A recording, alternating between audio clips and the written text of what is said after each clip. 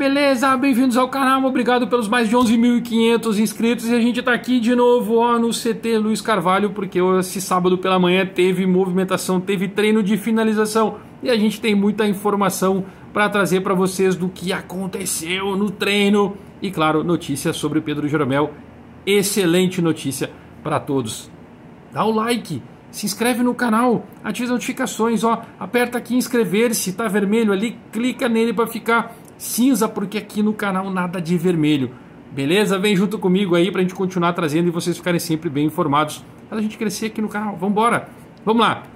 Vamos começar pelo Pedro Jeromel? Pois é, Pedro Jeromel, ele fez a cirurgia ontem de correção no menisco, teve aquela lesão, ele saiu machucado no treino, Ontem mesmo à noite já fez a cirurgia, já saiu, porque é uma cirurgia ambulatorial, já saiu do hospital e começou neste sábado a fisioterapia. Isso é informação já vinda do Grêmio, daqui a pouco já vai estar repercutido, talvez até no próprio site do Grêmio. Pedro Jeromel está bem, uma cirurgia, já começa a fazer fisioterapia e ele deve retornar aí no máximo em 30 dias aos gramados, né? Com aquela preparação. Não é nada dificultoso, uma cirurgia no menisco, ela é muito simples, é uma artroscopia e é fácil de ser corrigida e muito rápida de ser é, recuperada por um atleta de alto nível. Galera, vamos lá para o treinamento de hoje.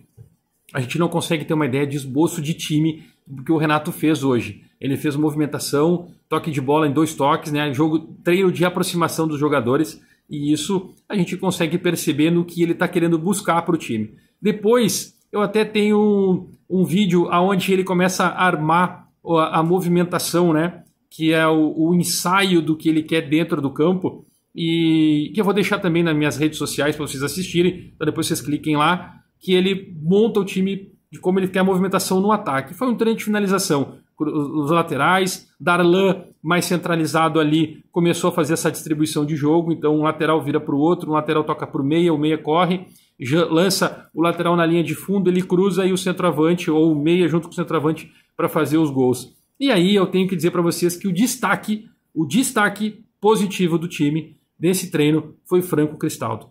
Fantástico, um jogador que diferenciado, uma movimentação é, muito rápida, objetiva, toque de bola, cruzamento e cabeceio, fez gol de cabeça, chute a gol, ele vou dizer para vocês que ele teve um aproveitamento de 80 a 90% do que ele foi trabalhado.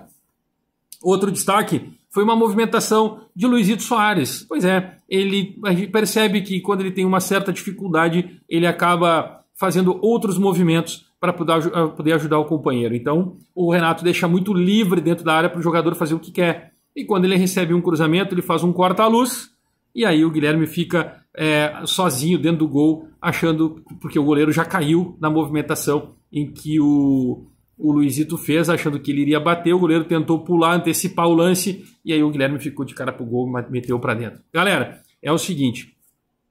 Movimentação muito boa. Posso dizer para vocês que Reinaldo, destaque positivo, principalmente nos cruzamentos.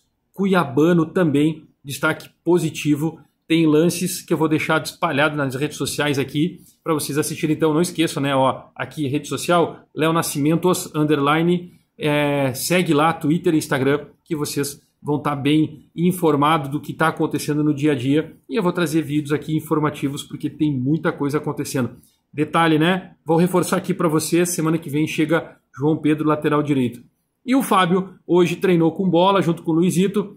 Fábio, lateral direito, não teve um aproveitamento tão bom assim nos cruzamentos e batidas a gol, mas é, tirando isso, a resenha que aconteceu, de resto, tudo certo.